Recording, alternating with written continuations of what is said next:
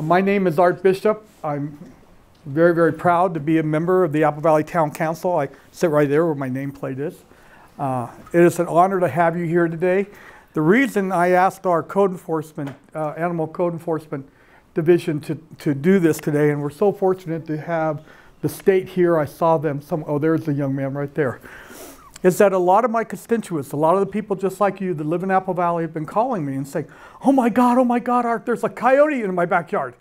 Can you call animal control and have them come on over and take care of it? I go, well, you know, what is it you expect us to do? Well, you shoot it. I go, well, that's probably not going to happen. Oh my God, oh my God, Art, there's a rattlesnake in my backyard. What do you want me to do? Well, that's probably not going to happen. And we have, you know, I've lived here a long, long time, and I see we have some first timers here too. And we, we are so fortunate to live in such a beautiful community where we combine our beautiful town of Apple Valley with our native desert. And there are a lot of animals that are native to our area. Um, my house the other night, unfortunately, or fortunately, either way, had three raccoons on the roof, scaring the dickens out of my poor wife. I uh, had a skunk in my backyard not too long ago. The skunk and my dog didn't do well together, to be quite honest with you. Um, there's also, I have a covey in my backyard of about 25 to 26 quail, which are absolutely beautiful, but I also have a red-tailed hawk that lives up in one of my cypress trees. So you have to balance, you know, the way the whole thing turns out. I think the most important thing here for us today is that we need to learn to be able to live with these wonderful animals that we're so lucky to have in our community and not be automatically calling 911 or your animal shelter and saying, you know, you need to come take this animal because there's not a lot that you're going you're going to learn a little bit later here. There's not a lot that we can do when it comes to wild animals other than appreciate them. They were here a long time before we were here. But one of the most interesting things I think that we're going to find out today is how you're going to deal with an animal if you're out walking. I recently, my, my neighbor had a mountain lion in his backyard. And it scared my poor neighbor, who's a dentist, just to death. And he said it scared him more than anything when it jumped into my backyard.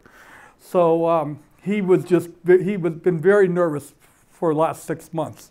So we're going to find out a lot about how we deal, how do we live, how do we share Apple Valley, our home, with the animals that have been here so long. So please, as this continues, and you're going to have the opportunity to ask questions, ask whatever's on your mind because that's the whole idea today is be able to share the information with these experts from the town and the state and how we're going to deal with them. So on behalf of your town council, I want to thank you so much for coming here tonight and I hope you enjoy yourself. Thanks.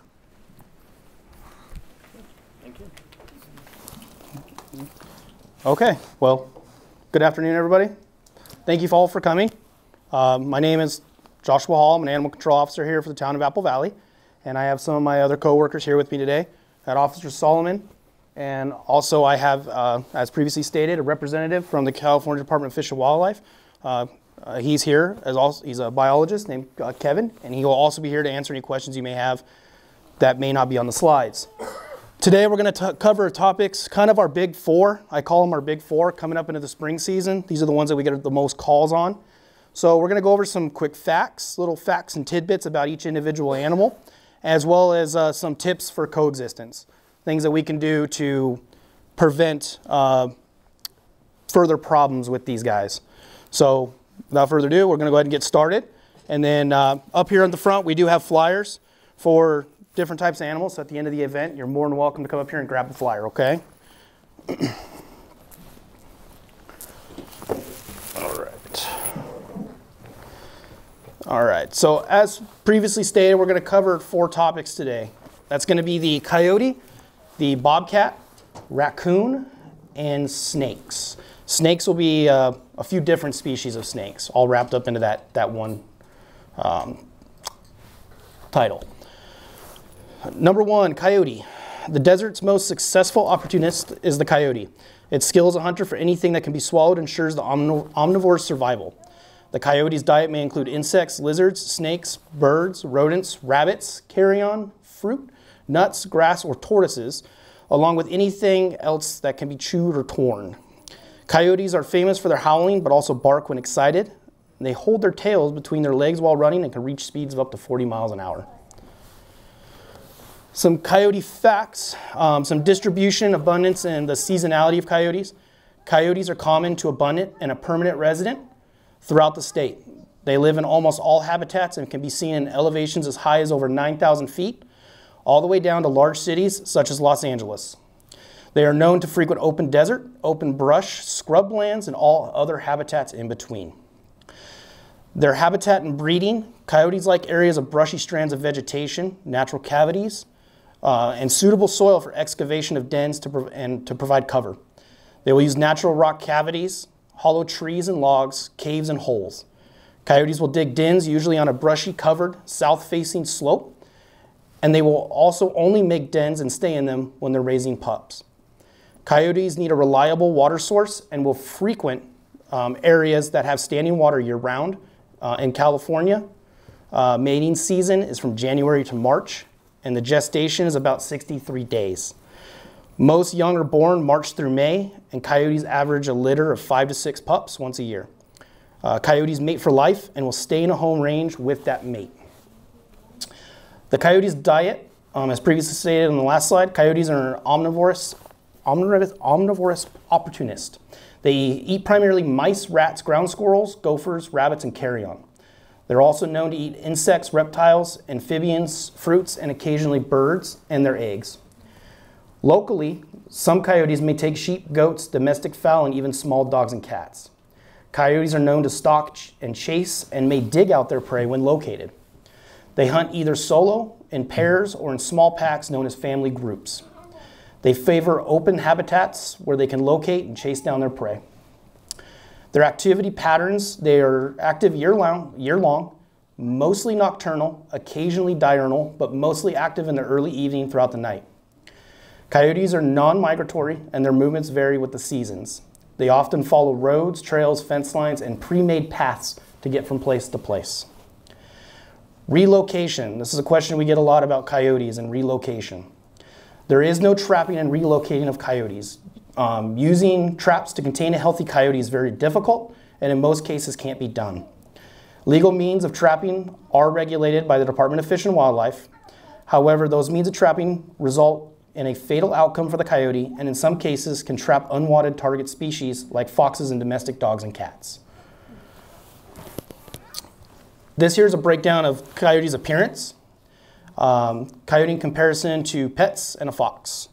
So the coyote is labeled here um, or is colored as the dark gray color. You can see it's a, got a bushy distinctive black tip on the end of the tail. And the Labrador Retriever, your common Labrador Retriever, on average is about twice the weight of a coyote. So they're, your average, you know, lab or, or large species dog is, is about twice the size of a coyote. So the average fox is much smaller than a coyote, which is down here, guys. Um, foxes are smaller than coyotes, but larger than cats. And domestic cats can and sometimes appear as prey. So this is just a little breakdown of like size comparison. Coyotes aren't as big as you know wolves or anything like that. They're a fairly medium-sized um, size animal. Some tips and tools for coexistence. Urban and rural residential landscapes offer an abundance of food and water and shelter for coyotes. Take the following steps to prevent coyotes from being attracted to your home. So here are some, uh, some tips and tools here. These are very important if you, don't, if you have coyotes frequenting your area. We suggest you kind of take these tips and and you know, go with them. Uh, wildlife proof your garbage in sturdy containers with tight fitting lids. Don't leave pet food outside. Coyotes will come and eat pet food if left unattended. Take out trash in the morning and pick up as scheduled, when pickup is scheduled. Keep compost in secure containers. Keep fallen fruit off the ground. Coyotes will eat fruit. Keep birdseed off the ground. Seeds attract rodents, which then attract coyotes. Remove feeders if coyotes are seen in your yard. So remember to pick up after the bird seed. Don't leave it around because it, it's a, it starts a cycle. If you don't pick up the bird seed, bird seed attracts rodents, rodents then attract predators. Eliminate accessible water sources in your yard. Like previously stated, coyotes need a, a standing water source year round, so make sure you don't have anything that would want them to come and take advantage of that. Clear away brush and dense weed near buildings. Close off crawl spaces under decks and around buildings where coyotes may den. If you frequently see a coyote in your yard, make loud noises with pots and pans or air horns and haze the coyote. So hazing is important. Um, hazing, some people may think it's cruel or inhumane, yelling, screaming, banging pots and pans, using air horns, spraying water at a coyote. It may look like you're being inhumane or cruel, which that may be if you were doing that to a domestic animal, like somebody's dog or cat. But that is the best thing you can do for a coyote, is haze the coyote. Make that coyote fearful of you. Um, if a coyote is afraid of humans, it is the best thing for that coyote. That coyote will then not want to come around people and will stay away, and that's what's best for the coyote. If the coyote starts to hang around it becomes domesticated towards people because we're feeding it and we like it, that's not good for that coyote. It's not going to be a good outcome. That coyote become accustomed to being around people, and unfortunately, there's not a good outcome for that coyote in most cases. So haze them. I know it seems silly. People scare the coyote. You want him afraid of you. Um, and then make sure you share this list with your neighbors. Um, coexistence is a neighborhood effort. Make sure that we're everybody in your. If you have a problem with a coyote in the neighborhood, make sure that everybody in your neighborhood's following these these tips. Uh, if you have everybody's doing it, but you have one person who likes that coyote and feeds it and puts out water for it, the whole neighborhood may not want the coyote, and, and that one person could be the problem for that coyote coming to that neighborhood every day. And he's not just going to go to that house only. It's going to keep coming to that house for those things, but it's going to get into other people's properties as well. So share this with the neighbors. This is a this is a neighborhood thing. We should all make sure we're keeping our um, food inside, making sure that we clean up our yards. We don't have places that would make suitable areas for them to hide and den, and haze them and make sure they're afraid of you. Okay, um, just that's very important. That's the best way to deal with coyotes. Um, if those steps, as it says over here on the right hand side, this is when to contact animal services. If a coyote is injured or sick, if a coyote is severely injured or sick, you can contact us to come out and assess that, and we will go from there. If the animal is severely injured and can be picked up, maybe sent to rehab or something of that nature, we'll look into that. Or if it's severely injured and needs to be humanely put down, those are options. If the resident has tried the tips listed above and the coyote is not fearful of humans, if the whole neighborhood is doing all the steps that are listed up here and we're hazing that coyote and that coyote is still approaching people and hanging out and not running away, those are things we'd want to be notified on. We would come out, we would assess that, and go from there. Um, that's where we would make up a game plan of is it really not affected by hazing and is it being a problem to this neighborhood? And we would begin our steps on how to, to fix that problem. If the coyote has become aggressive towards humans or private animals and is not affected by hazing, once again, previously stated, if you have a coyote in your neighborhood who's actively aggressive, that's a, that's a call to 911 or something that nature. Okay, if, you, if he's actively charging people aggressively, call 911, get the sheriff's department, us, we'll start rolling that way and we'll, we'll assess it. Um, or if you have one that's coming and preying on your animals every night and you're doing all these steps and it keeps coming and coming and coming, um, document it, contact us, and we'll, we'll look at that. Animal services necessarily won't come out for a coyote just in the neighborhood. There's not much we can do. Coyotes, they live here, they're native here. As you saw on the previous slide, they can run up to 40 miles an hour, can jump six foot fences without touching it. There's nothing we're going to be able to do to catch that coyote to remove it. The only thing we can do is if you're not comfortable with doing it, we're going to come out there and haze that coyote away. That's all we're going to be able to do. Um, if that coyote does become a problem and has become a nuisance, we would then begin our steps with contacting either the Department of Fish and Wildlife to let them know what's going on and or a licensed um, state trapper. And they could come out and possibly do something with that. But animal services will not just come out to your neighborhood, unfortunately, and just pick up a coyote. And as stated, it's not as simple as just putting a dog trap out and trapping the coyote and relocating it. There's laws in place, and it's very difficult to just trap a coyote and remove a healthy coyote. Okay, so the next step we're going to go to here, we're going to go in the next slide is bobcats. We're going to go over some bobcats and some facts. And I think I'm going to have Officer Solomon step in, and he's going to go through this one with you guys, okay? That one there. We'll go to the next slide when we're done. Perfect. All right. Good evening. As he stated, I'm Officer Solomon with the Town of Apple Valley Animal Control, and I'll be speaking to you guys about bobcats. So I know sometimes I've gotten calls about uh, distinguishing bobcats from regular house cats. Sometimes it can be a little difficult, so hopefully this will be able to help you guys out give you some more information and knowledge. Now, bobcats are entirely carnivorous and like to prey on small mammals such as rabbits, mice, moles, and squirrels. Sometimes birds and reptiles are included in their diet. The largest animals bobcats are known to kill are deer, uh, usually in the winter months when small rodents are scarce. And bobcats only hunt from dusk till dawn, so usually around nighttime, maybe early, early morning. Uh, bobcats favor uh, remote rocky outcrops and heavily wooded areas. Uh, though they are at times found on the urban edge, right outside on the outskirts of a town, that's where we get a lot of our calls and a lot of our interactions. Um, rugged terrain, deep forests, and caves make perfect dens and hunting grounds. The home ranges established by bobcats are vast and guarded. Bobcats are very territorial and will outline their space by scent markings. While male territories sometimes overlap, females will not share their space with any other female bobcat. So you may see a couple males roaming around. If you're seeing multiple, maybe males. If it's just one singular bobcat, it's probably going to be a female. And so the average bobcat, it's about 18 to 24 inches tall, uh, weighs anywhere from 15 to 30 pounds. Males are going to be at that higher end of the weight scale. Uh, coloration, as you can see in the picture, it's going to be tan with dark spots and uh, lighter coloring, maybe white on the, uh, on the belly and under the chin. Uh, bobcats, this is a big point, can be distinguished from regular house cats, big cats, uh, by their short bob tail, uh, usually about four to seven inches uh, with a black tip on the end. and they're gonna have tufts of hair on the tops of their ears and their cheeks. On the previous slide, you can see on the bottom of his jaw, he's got some hair coming down. That's usually gonna, how you're gonna tell it's a bobcat. Looks like little icicles coming down.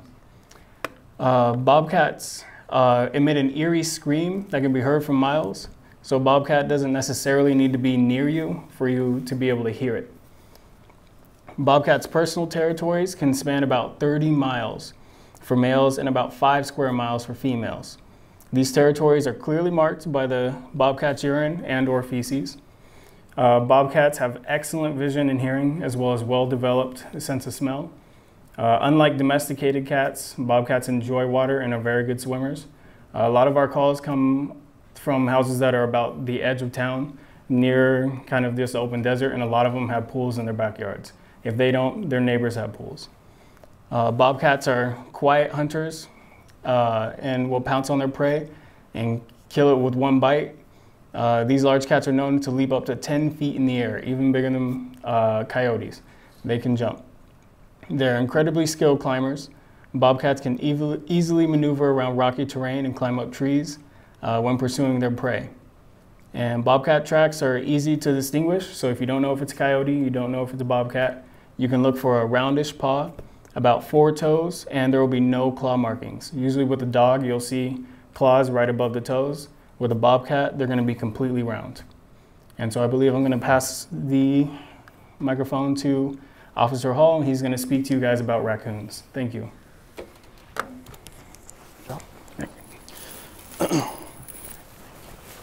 Okay. So real quick on bobcat, just a couple things to remember. Um, as previously stated, they are very good climbers. This brings up a topic we get a lot of times with um, coyotes on top of telephone poles, or coyotes, bobcats on top of telephone poles. Uh, if a bobcat is on top of a telephone pole, it will come down. It can come down, and it will come down. Um, we, there's nothing we can do for that, okay? They climbed up there for a reason, probably because they were chased by something. And the best thing to do in that situation is put away your dogs, put away, let your neighbors know to put away their dogs, and to not stand at the bottom of the pole and watch it. Um, those bobcats are up there because they're afraid to come down. There was something that put them up there. And once they feel safe, usually at night, when nothing's around, they will back down that pole and disappear. Um, if you go up there and try to get it, you're going to panic it. It has nowhere else to go. It can't go any higher, and you're putting that bobcat in danger. Um, so just if you ever see one on a telephone pole, is not a uh, unless it's wrapped up in the telephone line or the power line, it will come down.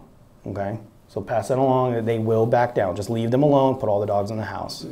Um, and with the roundish claws, with the no claw markings, that's because bobcats, when they walk, they have retractable claws. So their claws are not actually out all the time, you know, like canine toenails are. So when they walk, they're silent. There's no toenails. It's all retracted. All right, number three, we're going to move on to raccoons. Um, raccoons are kind of one of our big topic points coming up here um, in the springtime. They are um, cute and fun, but also mischievous and can get themselves in situations um, quite a bit. Some raccoon facts raccoons are known as omnivores, meaning they eat both plants and animals. Some of their favorite foods include fruit, such as apples and berries, as well as frogs, rodents, and insects. A baby raccoon is called a kit or cub.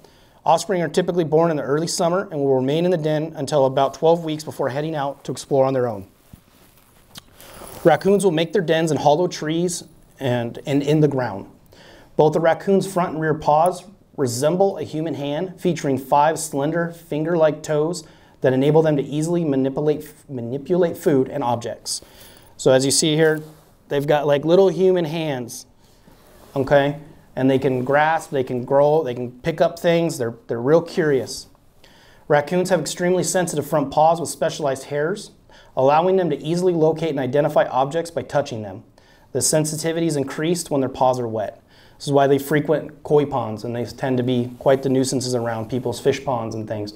Very, very, very um, interested animal and they're, they're very sensitive paw and, and they love to use their hands to actually reach in and grasp things. Some tips for dealing with uh, raccoons. Never feed raccoons. Once again, never feed wildlife in general. Okay, never feed it. It's never the good outcome. As much as they look sad, they look cold, they don't need blankets, they don't need food, they don't need water. They are wild animals and they know how to live. Um, feeding them only will harm them further. Um, not only in just the diet, but their outcome if they become domesticated to people. So do not feed so deliberate feeding of raccoons makes them more comfortable around humans and more likely to get into situations where they are unwanted or in danger. If there's no food or shelter to support them, most wild animals will go away and thrive in their natural habitat. Okay, so can't emphasize that enough. Coyotes, foxes, raccoons, possums, skunks, all of them. Do not feed them, okay? If you want them to be happy and healthy, do these tips to make them um, stay wild, okay? Fasten garbage can lids. Raccoons are notorious for getting in your garbage. They've got those silly hands and they can open, so make sure you fasten your garbage can lids. Keep sheds and garage doors closed so they cannot access them. Cut back tree limbs approximately three feet um, from roof lines. They love to be up in an elevated position. They will climb up, and if they can access, they will get into your roof and potentially try to set up shop up there. Harvest all ripe fruit from trees, shrubs, and off the ground. Remove brush piles and trash accumulation from your yard. Okay. Pick up family pet food and water dishes. Do not leave anything out overnight. Um, and sprinkle your lawn and garden beds with cayenne pepper. If you have something coming around messing with your garden, sprinkle a little cayenne pepper in there. Sometimes that will deter them um, from going in there. It's a little irritant. You can place ammonia soaked rags around the yard and under the house if you know where they're coming and going from. Another deterrent. Play a radio something that it's always changing. Okay, so a radio is always going to be a different voice, a different song, a different tempo, um, noise, so they can't learn the pattern. Um, if they learn a pattern, they'll get comfortable with it. So something that's always revolving, always changing, keeps them on their toes. Close off openings where roof lines overlap. Replace and reinforce damaged screened vents. Keep crawl spaces tightly covered. And keep spark arresters on the chimney. As you can see, a lot of these are, are, are dealing with securing your home up. Okay, making all the areas where these animals want to be comfortable and warm, um, blocking all of that off, preventing them from even getting in there to begin with, keeping them moving. I have a question. Yes. What about pet doors? Like, Pet doors is another one, yeah. Close them. Just having any any pet door just for the availability of predation on your pet from free roaming coyotes or bobcats in general. Yeah. Easy access to, to your unsecured pet. Yeah, so pet doors is a big one. Yeah, pet doors, if you do have one, you know, for your dog in, in and out during the day or whatever in your home, cool. Do not leave it open all night, okay? they're, they're going to learn. They'll follow your animal and they can come in the house and it's not a good thing. So yeah, dog doors, make sure if you have them, they're closed at night, especially. But um, yeah, anything that can they can have access to getting the warmth. They're going to smell the food. They're going to smell the, the habitat, and if you give them the chance, they're going to find. Trust me, if, if they're plenty happy living in a big old empty log in the in the wild, but if they had the choice between an empty log or your big old cushy attic with all that insulation, because you don't want to fix that hole up on the roof, they're going to choose that. And then what happens is then it becomes a problem to get them out. Now we have a problem with a trapped raccoon. What do we do with it? And it just starts this escalation of situations that could have been prevented just by going up, putting some nails in a screen over that hole. Um, so the biggest thing is kind of like the coyotes, hazing, but with these guys, if you eliminate what they're coming to your yard for, they will go away. So if they're coming for food because you're not picking up your fruit, remove it. They'll go away. If they're coming for the water you have laying around, pick it up. They'll go away. Yes. What if you have livestock, Livestock? like chickens or turtles? Um, livestock, yeah, just you want to make sure your area is clean. You know, cleaning up um, whatever your livestock doesn't livestock doesn't eat that day. Pick it up and remove it. Don't just leave it out all night, because it's gonna when they stop eating, they go to bed. eh, One thing you'll notice on most of these slides is all these critters that we have up here in the desert that we're going over. They're mostly nocturnal, so they're gonna be out in the late evening and at night. So if if your livestock's not eating, the critters start to move in. If you're not picking up that extra hay or oats or grain that you're putting out or whatever, what does that do? Does a, does a raccoon necessarily want to eat potbelly pig food? Uh, he might, but not necessarily. Um, does a coyote want potbelly pig food? No. But if you leave it out there, it'll attract mice, rats, because they'll eat it. But what follows those guys? Your predators. So yeah, picking that up. Um, chicken coops. I suggest if you have chicken coops up here in the desert or really anywhere, making sure they're inside of an actual chicken coop, not a free range chicken. Okay, free range chickens can get themselves in danger, and it, um, but having a chicken coop and a chicken coop where at night you lock them up. Okay, you have like a chicken house or a, a hen house as they call them, and at night they go in, you shut the door, lock it, pick up the food and water they had outside, and that's your routine for the night. That would be the best way to be the safest for your for your actual chickens, and also to prevent these guys from coming around. Okay. So, yeah. Next, this is kind of the big one that we run into is the trapping and the legal status for raccoons. In raccoons, um, in California, raccoons are classified as fur bearers. The fur harvest season is set by the California, Fish, California Department of Fish and Wildlife, which further determines when and how a raccoon may be taken. Raccoons causing damage may be taken at any time by legal means. The California Department of Fish and Wildlife regul- regulations prohibit the relocation of raccoons and other wildlife without permission of the department. Uh, for further information, contact your Department of Fish and Wildlife. So here you got Title 14, California Department of Fish and Game, CCR code 465.51, which is immediate dispatch or release. All fur-bearing non-game mammals that are legal to trap must be immediately killed or released. Unless released, trapped animals shall be killed by shooting where local ordinances allow and land orders of safety permit. And immediately released is defined as released at the same location where trapped. So this is where we run into the problem of we trapped the raccoon. Can we just take it over to um, the riverbed six miles away and let him go? No, that's not allowed by law. That animal has to be immediately released and immediately released on the property. We cannot drive them to another area and release them. There's many reasons why.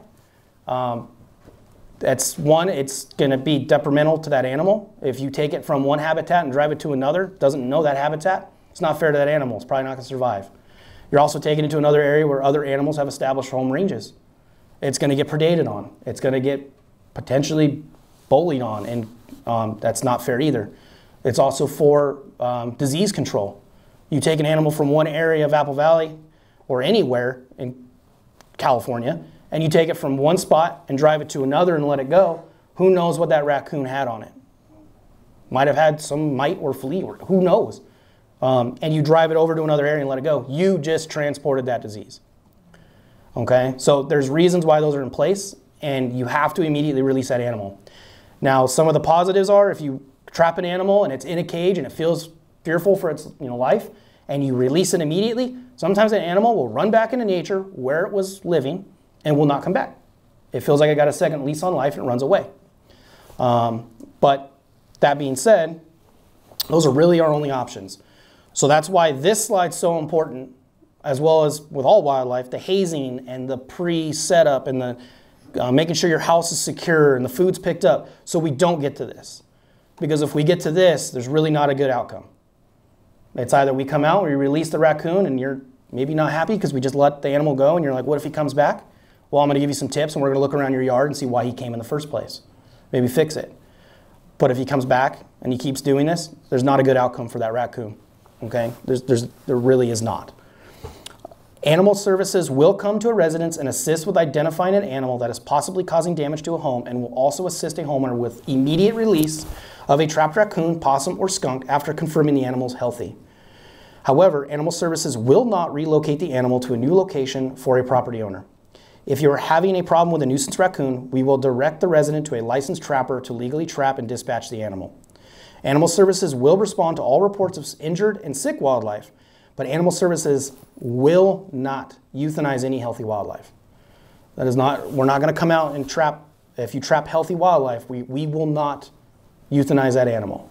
If you trap animals, you're technically under the California Fish and Game Code of trapping. You're supposed to follow their rules and guidelines. Um, we will come out, we will make sure that animal doesn't have any signs of disease or injuries or rabies or any of that, and we will immediately release it in that area. Uh, that is per the law. Okay, and if anybody has questions on that later, we can definitely go over that, but that is the law. Um, we can come out, we can assess, we can look, we can give you tips on why and how to fix it, fixing stuff, blocking off holes. That, that we will do. If you get a, let's say you're trapping feral cats, you accidentally catch a raccoon, when they're in a cage, they are ferocious. They sound like demons.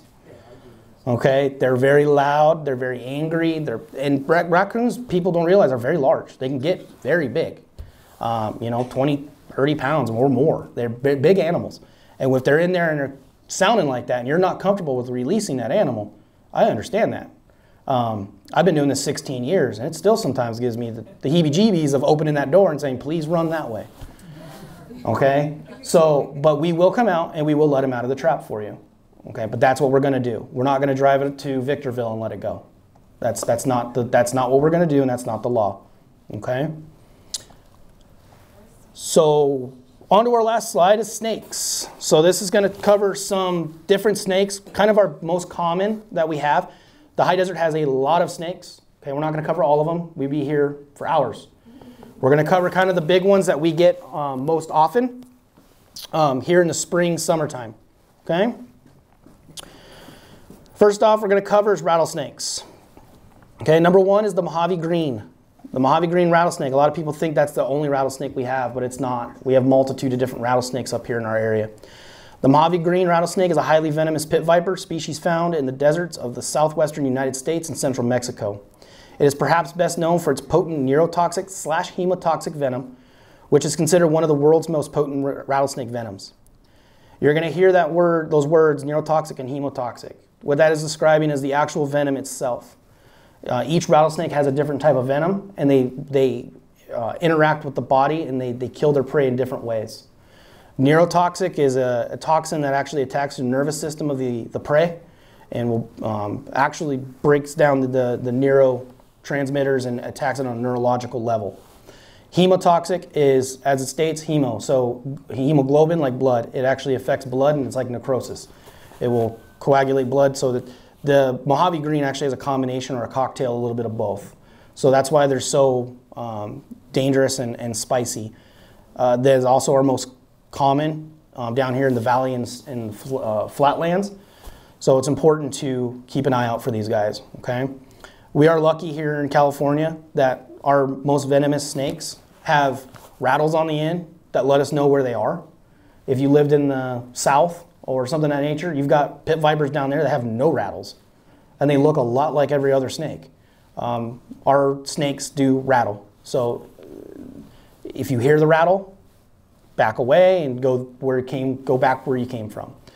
Um, Mojave greens misconception a lot of times is that Mojave greens are this bright green color. So if it's not bright, bright green, it's got to be something else. They're actually not bright green. They're kind of this olive drab military green color. That is their, their color. They're almost the color of like a creosote bush. If you see the creosote bushes, that's where they commonly like to be, is in the shrubs and the bushes. That's, their, that's why they're called that color, Mojave green. They get that little like olive color. Our other most common rattlesnake is going to be the speckled rattlesnake. Uh, most adult speckled rattlesnakes measure 24 to 38 inches in length. Some giants, measuring over almost 36 inches, have been found. This species varies in color, often matching the earth tones of the rocks and soil inhabits. Some occur in beautiful shades of orange or pink, black speckles from an, um, indistinct crossbars and dorsal blotches across the back. Some desert specimens are colored like decomposed granite with dark rings that encircle the tail. The snake packs a powerful hemotoxic venom. So, like this one here does not have the uh, neurotoxic venom, it's a hemotoxic venom only. But what's dangerous about these little guys is they blend into rocks extremely well. Our decomposed granite and our rocks where we like to rock climb and play, like out at Horseman Center and all those areas, these guys blend in really, really well. Um, so you want to be careful when climbing in rocks and putting your hands in nooks and crannies and all that. That's where these guys like to hang out. So they're very hard to see. Um, hopefully they give you the warning, um, but always pay attention when you're out playing in, in you know, the deserts and stuff, whether it be the flatlands, scrublands, or up in the rocks. Um, they're there. Continued with rattlesnakes, there are more. There's the southern Pacific rattlesnake. Okay, this southern Pacific rattlesnake is sometimes also called the western rattlesnake or black diamond rattlesnake due to its diamond patterns running down the length of the snake. The snake is often confused with the western diamondback rattlesnake because of the diamond-shaped markings that both species have in common. But the southern Pacific is much more common than the true diamondback within southern California. The snake has a hemotoxic venom to disable its prey. So like previously, this one only has hemotoxic venom. This is one of our largest rattlesnake species up here. They're larger than the Mojave greens and the speckles. They get fairly large. Um, and like said, we really don't have a lot of actual true western diamondbacks in our area. They're more like Arizona, New Mexico, down into Mexico. We really don't have them out here. You might see them as you get closer to Nevada, I guess, out near Mojave National Preserve, but I've never really dealt with an actual um, western diamondback, but we do deal with the southern Pacifics. Southern Pacifics, you're going to see them more towards the foothills. So as you're getting up into the Marianas, going towards Big Bear, Silverwood, going up towards the mountains, the reason they're a dark color is because the fact that they're at higher elevations typically. So they, the darker color helps absorb heat. So if it's colder out, they can actually absorb that heat better. Being cold-blooded, they have to thermoregulate their temperatures. So that's they're usually a really dark color. Uh, Mojave Sidewinder is uh, another one that we see uh, every so often. Sidewinder rattlesnakes are the smallest local rattlesnake. They can grow up to nearly three feet in length, but are more around one to two feet. The snakes in our area are typically more pinkish than the rest of the Mojave.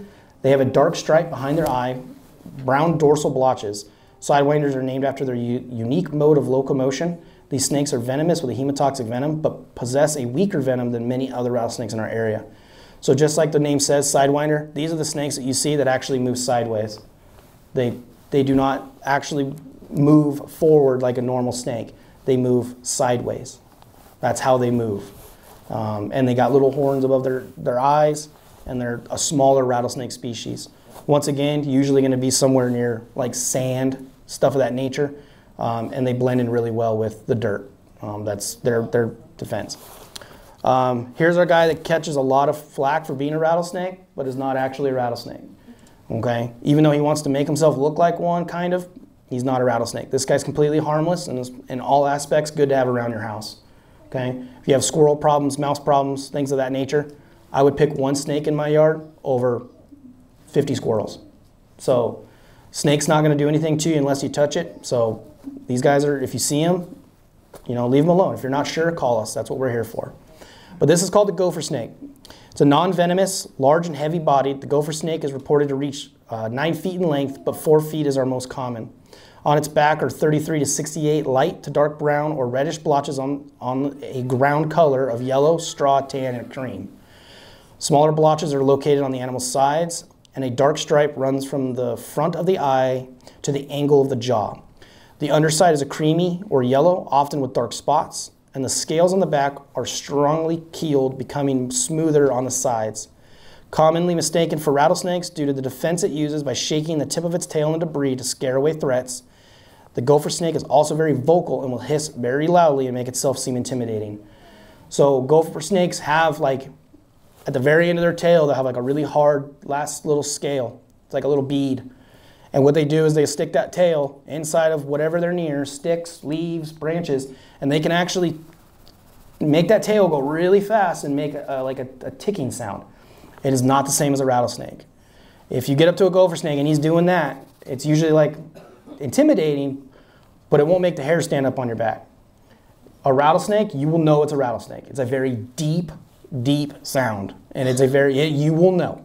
People ask me, "How do I know?" You will know. You will know the difference between a rattlesnake and a gopher snake rattling its tail. What these guys do really well too is they will puff up and make a really loud hissing sound. It's like a like just a deep, deep, deep hiss, um, very loud, and it's intimidating. And but all in all, that's the only thing that it has to, offend itself, is to make itself sound like a rattlesnake, kind of sort of look like a rattlesnake, and be really loud. So hope that you leave it alone. Um, they are non-venomous. They do bite. They are large. They will cause damage. They can hurt. Um, so I highly suggest do not pick them up. Just let them be. Um, but they are not venomous. Okay, they they eat their prey by constriction. So they will actually wrap around and, and constrict their prey. Um, but this is our biggest guy here that takes a lot of flack. See a lot of calls. And, it, and if you get a call for snake in your yard um, and you call us, please wait till we get there. Don't dispatch the snake. Because then when I get there, I, I would rather, you know, maybe move the snake out of your yard. But if it's a gopher snake, the countless times that I've been called to a, a rattlesnake call, and I try to get there as quick as I can, and I get there and I find a gopher snake in two pieces which could have been prevented. So if you're going to call us, um, keep an eye on the snake at all times. Do not leave eye, um, eye contact with it, because when I get there, I'm going to want to know where it is. If you have a snake in your yard and you call us, and I'm rolling, I'm coming that way, and I get there, and the snake was in your backyard by the pool, but you're in your kitchen on top of the counter, I don't know where that snake is now. It's going to be hard for me to find it. So staying a safe distance away and keeping an eye on it so that when I get there, I can identify the snake and remove it if need be um, is important. But we'll go over how to distinct, um, put the difference between the two later. But this guy here, take a good picture of him because um, I, he shouldn't take the rap for rattlesnakes. And rattlesnakes aren't bad either, okay? They have their purpose, and we, we don't want to see them hurt either. Some other snakes, these are kind of our other ones that we deal with on a day to day basis. Uh, red racers or coach whips. This is the most viewed snake within the Mojave Desert. It can be seen on many roads, sunning itself in the early to late morning hours. It is the fastest snake in the desert, moving up to 7 miles per hour and can reach up to 6 feet in length with a slender whip like body. Coloration may vary from gray to tan, pink, with black crossbars, always present on the neck. Okay, the snake gets older, um, it begins to take a more distinct reddish appearance. Its diet consists of lizards, small snakes, mice, and birds. It's very mean tempered and should not be handled, although not poisonous. Its bite can tear the flesh and should be avoided. These are very spicy snakes. Okay? Um, I, I refer to these as spicy noodles. Um, they're fast and they're, they're, they're little. I mean, they, they're little guys compared to gopher snakes. They're very angry. I've yet to meet a, I've ne- yet to meet a red racer that was friendly. They're all spicy. Yeah, the, I mean, as soon as they're born, they're just mad. Um, but that being said, they're harmless and they're good to have around. Okay, um, these guys will go find like a, um, a mouse nest and will go in and eat every pinky out of that nest. And they can get into small areas where these rodents are, eat them, move on. Um, they're not bad to have around. Okay. Um, Question. yeah. What's up? You got a question? Can I eat it? Can you eat the snakes? Yeah. Oh, the spicy noodle? Um, I would suggest going to your local grocery store. Um, they have spicy noodles there that would be less harmful. I'm pretty sure that would be. Yeah. Yeah. Um, yeah, these, these guys are just very angry. They're just, they'll just, they just, and they, and when you, if you pick them up, they'll bite you three, four times before you even go, did I just get bit? They're just fast. So, but that being said, if you see them, leave them alone. They're the same thing. They're no harm. Just let them be about their business. If they get in your house or your garage or something like that and you want them out, we'll come out, remove them for you. All right. Um, then we move on to the king snake. The California king snake is a non-venomous snake uh, endemic to the western United States and northern Mexico. Due to the ease of care and wide range of color variations, the California king snake is one of the most popular snakes in captivity. These snakes are usually um, dark brown or black in color with whitish yellow bands. The king in their name refers to the propensity to hunt and eat other snakes, including venomous rattlesnakes. They are commonly indigenous to their natural um, habitat. So they'll eat rattlesnakes. They're king snakes. They are immune to rattlesnake venom. So if they get bit by a rattlesnake, they, nothing happens to them. Um, they're, in most cases, docile, and as previously stated, they're prettier. They're a pretty looking snake, so people want to take them from the wild and keep them as pets. My suggestion to that is if you want a snake, check with your parents. And we have great snakes at Petco and PetSmart, local feed stores. Okay, don't, don't pull them out of the wild and keep them as pets. Okay, if you see these guys in the wild, take a picture and, and leave them be. Um, they, they are non-venomous, like previously stated, um, and they're good to have around. Same thing, common thing with all these non-venomous snakes. Good to have around.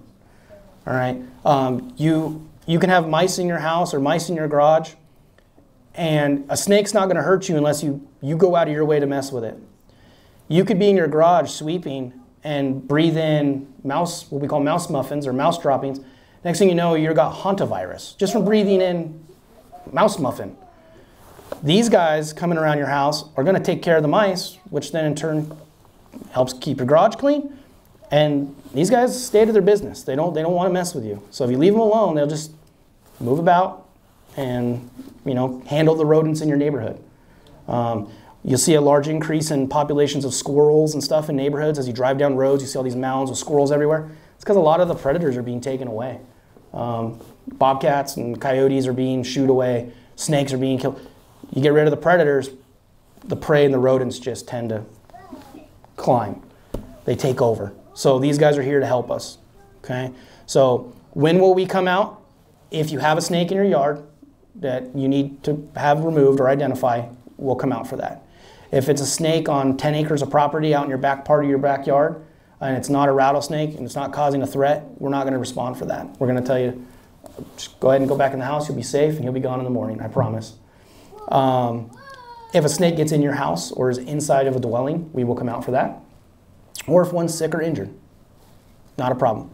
Uh, if you see a snake in your yard and you're able to take a picture, but you just want to know what it was, no harm in calling, and well, maybe we'll swing by and we can look at that picture and let you know what it is, just to, for ease of mind, to let you know, hey, that's a gopher snake or that's a red racer. You're good to go. Okay. Um, how to tell the difference? This is the difference between the rattlesnakes and our other snakes. So this goes for gopher snakes and all the other species. Um, real simple way, uh, the, the, rattlesnake has an uh, left elliptical pupil. So the pupil is vertical, okay? Uh, it's got pits on the front, which are heat sensing pits because they are a natural pit viper, which means they kind of see in like infrared. So they can actually see like heat signatures of their actual prey. Uh, they have an upturned nose and fangs. So this right here, these big cheeks that kind of stick out, and up here, the big old cheeks that stick out, their mouth isn't filled with food, that's their pit viper. That's where the glands are, the venom glands.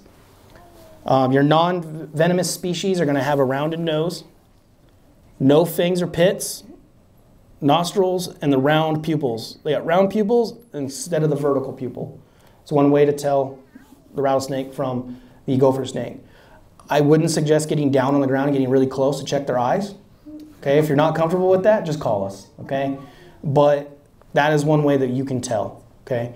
Um, and remember, a rattlesnake can strike half its body length. So if you're, you know, our, our rattlesnake's four feet long, if you're eight, nine, ten feet away, you're perfectly safe. It's not going to chase you down, and it can't strike and jump out and get you. Okay, so just stay, stay away and call us. Keep an eye on it. Uh, the way to tell the venomous, also here we got demonstration. You got the head is triangular and much wider than the neck. Rattlesnakes got big venom glands, which come down to a much smaller neck and then back to a very wide body. They're very heavy bodied creatures. And then it'll come all the way down to the tail, where it then tapers off to the rattle. Okay, so if you can't see the tail, but you don't know if it's a rattlesnake, that's what you're looking for. If you can see the head part of it, you're looking for those big venom glands, and where the head's bigger than the neck. If it's bigger than the neck, stop where you are. Okay. Um, with the non-venomous species that we have up here, their head is narrow, slightly larger than the neck, but not much. It's going to go from the head to the neck, and there's not much of a change in, in size. It's just pretty, pretty cylindrical, pretty, pretty much the same all the way down. This guy goes big to small to very large again. These guys will go from head to pretty much the same size, all the way down to where it starts to really taper off to a very tiny point. Okay, so instead of going down to a rattle, it's going to come down to a very, very small pointy end of the tail. And that's how you can tell your biggest difference between non-venomous and, and venomous snake species. So if you see a snake that cylindrical, all pretty much the same size, all the way down and down to a very fine, tiny, tiny point, probably going to be a safe snake. Still, let it do its thing and move about its business. I wouldn't suggest messing with them because the only time you're going to get bit by a snake is if you touch it. They will not chase you down. They're not going to hunt you. They're only going to bite you if you invade their space and pick them up. Okay. Um, at this point, um, does anybody have any questions? Go ahead. Yep. Um, what do you see? Like a lot of red racers. What if you see a lot of red racers? Yes. So you may be near a possible like den or where a hatch. So they may have just, you know, had a, a batch of them and they're moving out. They won't stick around. They're not they're not um, pack animals. Snakes are not pack animals. They're solitary. So they'll move out and they'll spread about their way and go find their little habitats and move on. Snakes also don't usually pick a home range. So they're not going to pick like your backyard and that's their house and they stay there forever. They, they, they move with the food. They're always searching. Um, what happens if a raccoon gets into your trash? What happens if a raccoon gets in your trash? Then you're going to want to secure your trash better. So you're going to try to figure out how he got in there, how they got that lid open or how they got that open, and then try to secure it even better um, to prevent him from doing that. You can also put out motion sensor lights, things of that nature near your trash can to try to scare him away from your trash can, letting him know that you know he's there. Okay? So, um, is there any other questions? Look, this has been a- an extremely wet year for us, which is not normal. Mhm. Uh, And it's still raining today. Mhm. Can we expect a larger population of uh, native animals because of all the rain and and possible a lot more rodents and Yeah. and smaller? That's a fantastic question. And actually, if you're comfortable with it, uh, I'd like to have Kevin. Uh, I mean, uh, on balance, you could positively, yeah, positively equate higher productivity, uh, more moisture, more spring green up, more food for, for native wildlife. Um, so quite possibly, sure, um, slightly higher populations, but um, what I would say that would, would correlate to a higher, um, higher productivity and higher instance of human wildlife interactions and human wildlife conflict. Um, so we can definitely assume it's going to be a very productive spring and a very productive summer um, with our native wildlife here, which, yeah, brings us back to securing the attractants, securing our trash, securing our, our livestock, securing our chicken coops, um, not, not giving um, you know, our native predators any cause um, to come into close quarters with, with humans and their, their property, um, namely pets as well. Do you want to? Great, thank you. Sure.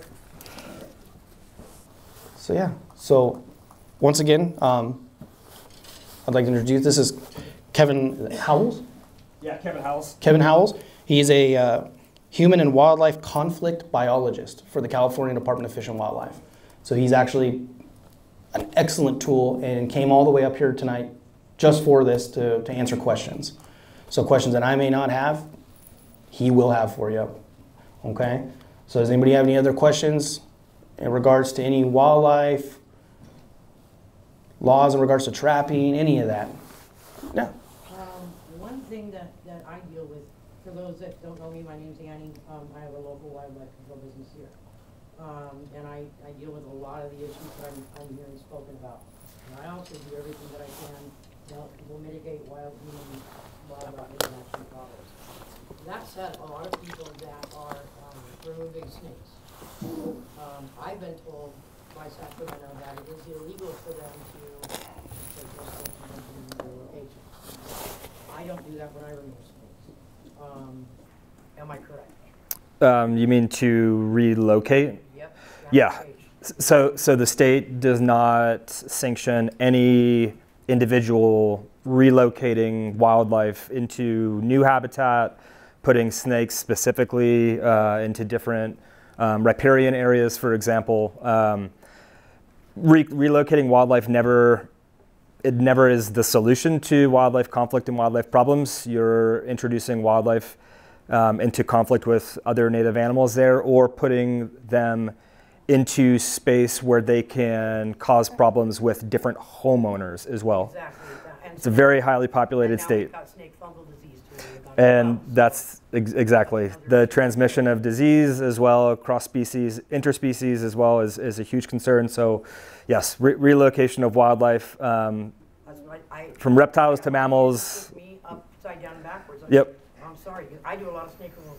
Yep. You know, and if I can't, some of these properties are two hundred acres, awesome, same property. Yep. Yes, I can legally, and, you know, release this according to the best wildlife, what we know today about, about releasing snakes, but, I mean, I have people telling me all the time that, you're wrong, I can do whatever I want, and, no, you can't. Yep, it's all there in the Fish and Game Code. That's what I tell people, and they say, well, it doesn't say snakes, it says, it says mammals or, or trapped wildlife, and so you get into these little. you know, Semantics, yep. People, you know, they ask to be, ask to be educated, I try to educate them, and then, and then they, then they, then they wanna argue with me. Sure. So it's nice to hear So that's where, as a human wildlife conflict biologist, you can forward them to me for, for these If conversations. I need to, I will. Yep. Because it, oh yeah, it happens. Ground squirrel release is a big problem around here too. Oh, yep. That's huge. I catch people doing that, I'll call them in, I don't care. Yeah. I trapped nine thousand of those things last year in this. And, and you don't need, as a homeowner with ground squirrels, I mean, I understand they can cause quite a nuisance to, to the property and to the landscape. Yep, and, and you don't need uh, a trapping license to, to trap yourself as a homeowner um, if you deem, you know, there's ways to mitigate that conflict uh, in a less than lethal manner, but, you know, uh, uh, as the Fish and Game go- Code goes, you don't need um, a trapping license to, to remove them uh, lethally yourself. But No. again, I, I never advocate lethal removal of wildlife. Yeah, yeah, yeah. You, yeah, a lot of people say, well, you know, I'll just trap them myself and drown them. Well, Yeah, that's, PC five ninety-seven, right? You can't, you can't. Yep, that is uh, inhumane treatment of wildlife, right? Exactly. So, yeah, there's a lot that goes into this. so Definitely. It's crazy. I, I do a lot of camping, and I've been very fortunate camping a number of years here in the high desert. I've had the ability to see a lot of tortoises uh, in the um, in the wild, and there are a lot of people that still when we don't have as many tortoises, unfortunately, as we used to, um, but they'll they'll pick them up. And I just thought maybe you could take a second and talk about it. I know we're really talking more about coyotes and raccoons, but the the tortoise is such a beautiful creature that's very specific to our area. Maybe I thought you could speak to it. Yeah, um, they are. I mean, sulcatas and the desert tortoise, the two main species here, um, are both federally protected. So any you know uh, harassment or molestation of the tortoise, if you see it in the wild, um, you know, is is technically illegal.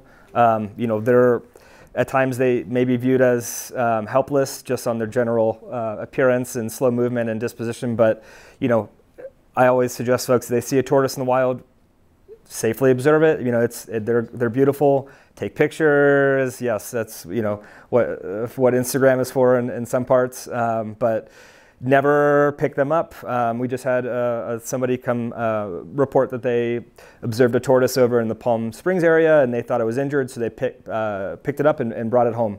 You know, th- those types of things, um, you know, is a good educational opportunity for me to, to talk with that person and let them know that you're not sure if there's dependent young with that uh, or they're incubating uh, eggs or, or, you know, you, you have no idea what's going on with that tortoise. So you never, under any circumstance, want, want to pick them up. And again, they're federally protected. So any handling of them without any sort of uh, U.S. Fish and Wildlife permit um, is uh, illegal. So, you know, to your point, they're beautiful and they are great to have here. I mean, not a lot of states get to have federally protected tortoises that are, are native. Um, but enjoy them from, from a distance, yeah, and, and never never handle them or, or even bring them home for any any reason. But I mean, you and you can. I mean, there is permitting processes, um, which I, I do help out with um, through the California Tortoise and Turtle, uh, Tur- Turtle and Tortoise Club, um, where you can adopt them um, and have them for, for decades. But taking one from the wild um, and, and trying to have them as a, a, pet or anything like that without following the proper channels, yes, is uh, illegal and will most likely be um, very harmful for the animal itself. Thank you. Yeah. Um, I was wondering, like, if we go for a walk or a hike with our, our families or our, our dogs, what if we run into a coyote or a mountain lion? What are we supposed to do? Yeah, so first, I would say always keep your dog leashed. Um, a lot of folks on hikes and whatnot like to let their pet roam with them because you're in an open space. Um, but always keep them on a leash, and I never suggest uh, the extender leashes, usually a fixed rope of six feet or less. Um, that way, if an animal does come in, like a coyote or a lion, you're able to pull and get control of your animal. Because a lot of times, especially with, with coyotes, if they're approaching your, your approaching you, usually there's a proxy between you, so you're, they're interested in your dog. If you're able to pick up your dog and hold your dog, that okay, no, it, that usually is a, a, great way to mitigate conflict. But it, in the event of having a larger dog, always you know make yourself big, make your presence known, stretch your arms out. I suggest hiking with um, an air horn. You know they're they're relatively cheap under 20 bucks. Um, they're small. You can carry carry it with you while you hike. Um, and a couple blasts from the air horn, you know, usually is enough to condition that animal pretty quickly that this is a you know a possibly a dangerous scenario for me as the animal that's looking at the dog. Um, and then another thing is very important: never turn your back and run. A lot of folks see wild animals, even with seeing a lion, and get very scared, understandably but you want to make yourself as big as possible, make yourself loud, your presence known, and slowly remove yourself from that area. And not, especially with a lion, not give it um, a reason for, for chase because you know that instinctually is within them. When they see something running, they pursue as you know as as predators, as carnivores. So see the animal, make sure it sees you, and you don't sneak up on it. Yell, be loud, carry an air horn, um, even like a can of, uh, like a metal can with some rocks in it with a lid as a shaker. Um, that's another, uh, something else that a lot of folks uh, deploy uh, when they're walking their dogs. And um, yeah, it, it, it, it does help. And, you know, if it's getting closer, feel, you know, have a stick with you or something to physically defend yourself because they're not going to want to, most, most animals are not going to want to, to risk injury in a situation like that. They're smart. Um, so scaring it off and then safely removing yourself from, from the situation um, is, is something I would suggest. Sure, good question. Okay, is there any other questions?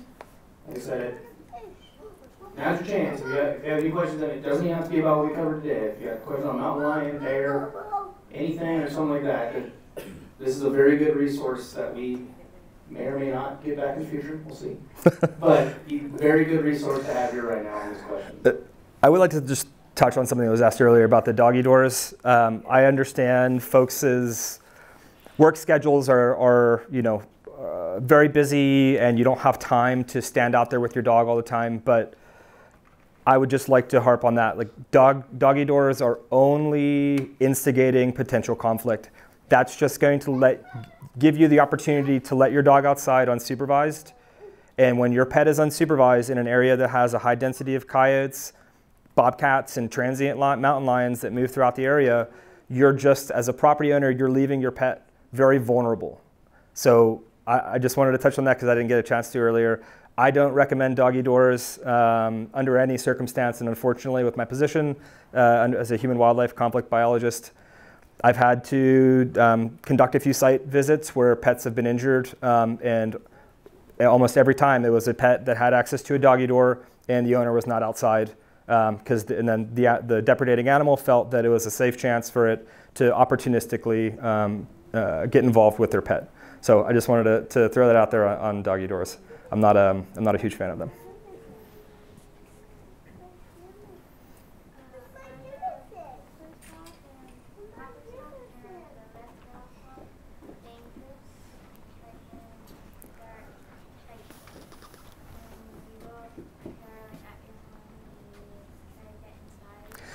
No, uh, they're they're definitely not dangerous. But one thing to remember is, you know, if you have a small dog or a small cat that's outside, they could be perceived as potential prey from that animal. Um, but to people, no, they're just beautiful, uh, beautiful raptors that um, do a good job at keeping the, uh, you know, the the small mammal, your your rats and your squirrels, and some of maybe the nuisance wildlife populations in check.